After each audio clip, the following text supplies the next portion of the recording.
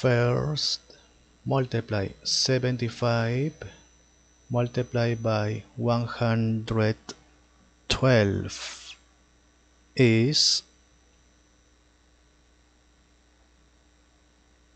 always two digit.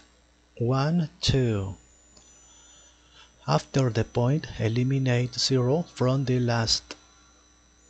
After the point. Okay finish